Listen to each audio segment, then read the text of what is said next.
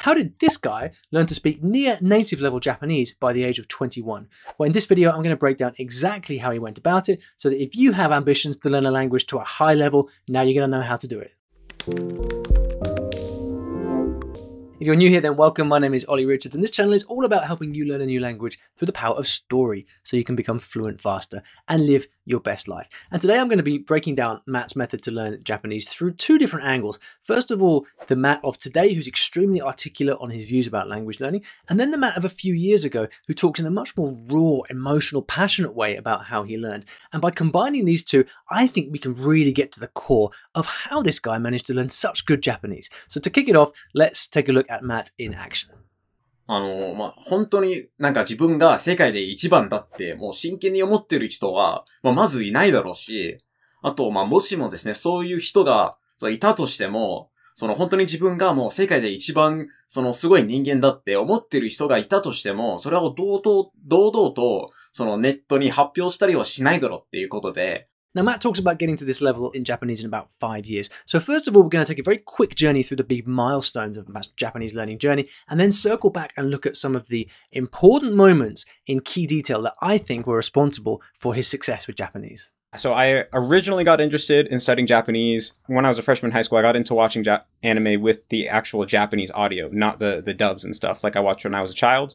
And mm-hmm. it wasn't that I was the biggest anime fan in the world. It was more just like something about the sound of the language just really pulled me in. It just sounded mm-hmm. really elegant and beautiful and just instantly made me extremely interested in the culture and I wanted to learn more. I'm sure all of us can relate to this initial moment when we first discover a new language. There's something about it that just attracts us and we want to learn more. Matt then had a great opportunity to visit Japan not long after. That summer I went to uh to Japan for 3 weeks through like a trip in my school and that was like really awesome. I just had a great time. It was probably like some of the most the most fun I've ever had in my life because I was just I was just a tourist. I just saw the normal tourist stuff, and like I went went to Tokyo one time and saw Akihabara, and it was just like I was like, yeah, this is where my future is right here. So you fall in love with a new language. You're ready to learn it. What's your first step? I just googled like how to learn Japanese and started going through random textbooks, and I transferred into the Japanese class they had at my high school because I was lucky enough to have a high school that offered Japanese classes. Mm-hmm. And so for the first two years, I was pretty much just doing that. In, the summer, I went to the local community college and took the second year of Japanese uh, classes so that when yeah. I was a sophomore in high school, I was able to go into the third year of Japanese classes. So far, this is a pretty standard beginning to a new language. You fall in love with the language, you visit the country, you study for a couple of years. We can all relate to this. Next, Matt has a really unique opportunity to actually go and study abroad in Japan. Uh, this wasn't through my school. It was just this program I found online because I really wanted to have the Japanese high schooler experience that I had seen mm-hmm. in anime so many times. Right. And so I, I found the study abroad program and signed up for it. Matt's a teenager. He's still in high school at this point, and yet he's found and signed himself up for a study abroad program in a Japanese high school. This kind of initiative and self starter mentality, you're going to see this a lot among high achievers in language learning. So, how did it go? I did make a lot of Japanese progress while I was in Japan because I was very gung ho about continuing to study, continuing to only do Japanese. I would go days without speaking or hearing any English. Mm-hmm. But mm-hmm. I also just got really depressed and miserable. And so mm-hmm. I eventually left early. It was supposed to be a 10 month study abroad, but I came home after six months. So at this point, you're thinking, well, what happened? What went wrong? Hold that thought. We're going to come back to this later because this is crucial for understanding Matt and Matt's Japanese. Suffice it to say, he goes back to the US and he decides to start studying really hard for another couple of years, and this is where it got him. So I guess about uh, two years after coming back from Japan, I was mm-hmm. at the point where I could understand Japanese very well, and I could mm-hmm. read novels pretty much no problem, and. I could watch movies and stuff no problem. So by this point, five years into his journey, Matt has reached a level in Japanese which for anyone would be fantastic. He can read, he can understand, he can do anything he needs to in the language. It would be tempting to think, well, it's all right for him. He's a teenager all the time in the world, five years of study, time in Japan. If only I had that time, then I could be fluent in Japanese too. But remember, for every one Matt, there are a thousand or more others who don't have anywhere near as much success. So, in order to really understand this, we need to dig deeper. And it comes back to his reasons for wanting to learn Japanese in the first place. Listen to how he describes that feeling of when he first discovered Japanese. I don't care. This is all that matters. This is it. It like wasn't it wasn't a conscious thing. It just came from somewhere more really deep. It was just like it was like a lightning bolt hit me, and I was like Japan, Japanese. I mean, in hindsight, a lot of that was uh, me not wanting to I mean, kind of, it was kind of like running away. It was kind of like I, you know, everyone has their own problems, and I just got this. I was like young and naive. I got this idea in my head, like if I went to Japan, everything would be amazing. I really appreciate this honesty from Matt because I remember exactly what it was like to be a teenager the confusion, the, the pain over different things, and the willingness to do pretty much anything to move away from pain and towards something more appealing. In Matt's case, this was Japanese. In my case, it was actually French, and I ran away to Paris, but that's a story for another day. As we move forward here, I want you to bear this in mind. I'm going to break down everything that Matt does next, but I want you to remember that this is what's underlying his willingness and his drive to do all of this. So now let's look at what exactly Matt did to learn Japanese. And we need to start with the underlying principle to his method, because the method is unorthodox. But here's what it's all about. There's this common belief in our society that it's impossible to learn a language as an adult the same way that children do.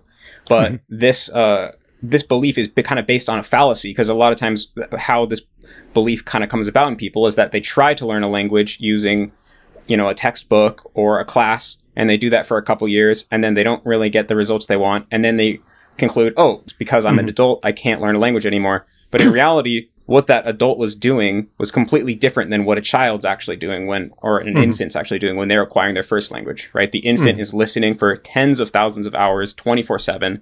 completely surrounded by the language Whereas the person taking the class, maybe for like a couple hours a week, they're getting a mm-hmm. very minimal amount of exposure to the language and they're doing completely different activities like learning grammar equations and things like that. So, this is the theory that Matt bought into hook, line, and sinker at that stage in his life. And this led into a very hardcore interpretation of this approach, which is known in Japanese circles as all Japanese all the time, which is basically to say, toss out the textbooks and spend all of your waking hours immersed in Japanese. You're watching anime, you're reading books, you're listening to the radio, watching movies, listening to music, etc., etc. And Matt took this very, very seriously. So much so that when he actually went on his study abroad trip to Japan, he was more interested in that method than he was actually interacting with the people around him. And I'm like, well, I'd rather just spend that time in the library reading. So, so every day after school, I would just read light novels in the library, like for, for like two or three hours. Uh, just sitting there, like looking, and I could barely read at that time, of course. So I was like just looking up almost every word, like trying to understand as much as I could. And so, and yeah, so I couldn't really make any real friends because I couldn't communicate with them. Like, I didn't speak Japanese. They didn't, they didn't speak English. They didn't want to, to like take the time out to sit and like talk to me like I was a baby. And, and it seemed like, like reading novels and watching anime was like more productive than actually talking to Japanese people. Now, if you've seen my other breakdown video of Xiaoma and how he learned Chinese, you'll see the parallels here of actually going to another country and spending your time doing something very antisocial. And I think, you know, most of us would say that is clearly a wasted opportunity. But let's imagine that what Matt was doing there in the library was actually the most effective way to use his time to learn Japanese. This what this brings up is this philosophy of really how you want to spend your life. Do you want to make the most of the experiences you have around you, or do you want to pursue perfection at all costs? And if you've picked up anything useful from this video so far, then hit that like button, subscribe to the channel, and turn on the notification bell so I can send you future method breakdown videos just like this. Sorry, Matt, you were saying. I had this idea that I wanted to get perfect in Japanese in 18 months. And so on the weekends, instead of going out and seeing Japan with my host family, I said that I wanted to stay home and make Anki flashcards and just okay. do those all day. And um, in, in hindsight, this was a really bad decision. I if I could go back, I would have not done that. I would have put Japanese to the side a little bit and just en- enjoyed my study abroad mm-hmm. experience, knowing that right, I would have right. the rest of my life to get good at Japanese. But mm-hmm. um, you know, when you're a teenager, you can be very short sighted, and so right, I just yeah. my only goal was I want to be fluent in Japanese 18 months from from the point I started. So the older, more mature Matt of today would do things differently if he had his time again, and let's face it, which of us wouldn't? But it does raise the interesting question of this obsession that he had and this drive and dedication that he had uh, for good, for better or for worse, would he have got to the level that he did if it wasn't for that unhealthy obsession? We will never know, but it is important to think about this because just like in the story of Xiaoma and how he learned Chinese with flashcards in China, there is a degree to which like this kind of insane struggle gets you where you want to go. Uh, it wasn't very healthy, probably psychologically. I don't recommend people to, to necessarily do this. But um, so I, I, did that for six months and made a lot of progress in the, in those six months. Mm-hmm. But you know, there's just a limit of how how good you can get at Japanese in six months. So Matt leaves Japan. He goes back to the US, and then he has to decide what to do from that point. His Japanese is a lot better, but he didn't have a very good time in Japan, and he's feeling a bit disillusioned. And then at that point, it was kind of like, well, what do I do? I didn't really have the best experience in Japan, but I've just dedicated a year of my life studying Japanese and I've made so Mhm. much progress, but I'm Mhm. just not quite there. And I just decided that I want to see this through to the end and just continue to study very intensely while I was in America. This is a dilemma that every language learner faces at some point in their life. You really want to carry on, but it's not making you happy, but then you've spent all this time already. What do you do? And this is precisely why earlier we looked at Matt's real emotional reasons for wanting to learn Japanese, because at a time like this, it's that that makes you decide whether to carry on or not. I was, uh, I think 17 at this point. And, uh, so I was like really, really in a tight situation because I had my whole future bet on this. It's like, what am I going to do if I don't do Japanese? I already had so much of my identity like tied up with that. Had, had this story where I was going to live the rest of my life there. Like I'm either going to get better or get worse. Like I knew if I stopped studying Japanese, the little that I had would, would be, would just, I'd forget it so quickly. And then within like a few, a few months or a year, then it would be pretty much all gone. It was either all or nothing. It was either I keep doing it full time and get there, or I stop and then I would just forget it all. That was like not forgetting it just didn't feel like an option because I was so invested in it. Language learning is tough. It takes a long time, it's a lot of work. And this is why so often the people who get to very high levels, they're not necessarily the, the best learners, they're just the ones who don't give up. So he decides to carry on, and at this point, he is two and a half, three years into learning Japanese. You might think he'd try something a bit different at this point, but no, he doubles down on this idea that the only way to learn Japanese, the best way to learn Japanese, is through complete hardcore immersion. And I Mhm. was really like, okay, from now on, I only watch Japanese movies. I only watch Japanese TV shows and read Japanese books and hang out with Japanese people. And Mhm. I went very extreme on this. This is known as an input based method. Input being the things that you read and the things that you hear. So, what he's not doing is studying textbooks, uh, doing grammar exercises, spending all his time speaking with people. It's the idea that if you spend enough time listening and reading, your comprehension will be so high, you know so much that everything else, like speaking, like perfect grammar, will follow. He also made heavy use of flashcard apps, so he would take words and phrases from the stuff that he was listening to and reading, put them into his flashcards, and practice them until he knew them. Very focused on input. So I was just listening and reading Japanese many hours every day, um, making Anki flashcards for words that would come up in the books and shows that I was consuming that I didn't know. Whenever I talk about learning through immersion, whether it's what Matt did here or my own story learning method, I always get the question well, how does that convert into speaking? All this reading and listening, how do you learn to speak? Well, this is what Matt describes happening next when he went back to university and had the opportunity to start speaking with Japanese people. yeah, there was this community of Japanese people at my college. They would all hang out to, with each other and they all knew each other. And so I was able to kind of slide into that community and make friends with them and hang out with Japanese people and actually get to start speaking Japanese. So at that point, it was mostly just 99% input, 1% output.